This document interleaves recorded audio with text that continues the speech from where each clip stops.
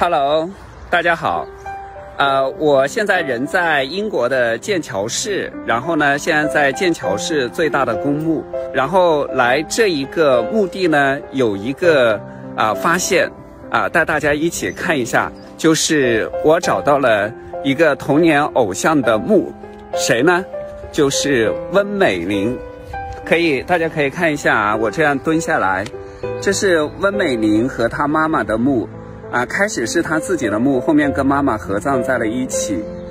我之所以一定要找到这一个温美玲的墓呢，甚至今天花了大概两个小时的时间，是因为第一，温美玲是我童年的偶像，大家还记得啊，就是她演的啊《射雕英雄传》。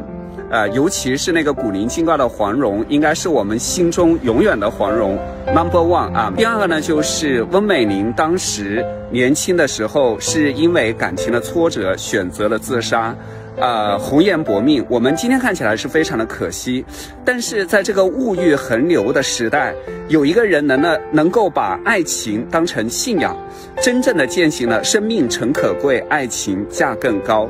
所以呢，我觉得他对爱情的这一种信仰、执着、纯粹，也即使在今天也能穿越时空来感动我们。所以在今天，我要缅怀一下温美玲啊，童年的偶像。然后他能够跟妈妈最后合葬在一起，我相信他在另外一个国度也不会再孤单。也希望他在天国一切安好，也希望所有。把爱情分为信仰的人，能够真正的遇到真爱，有情人终成。小红书。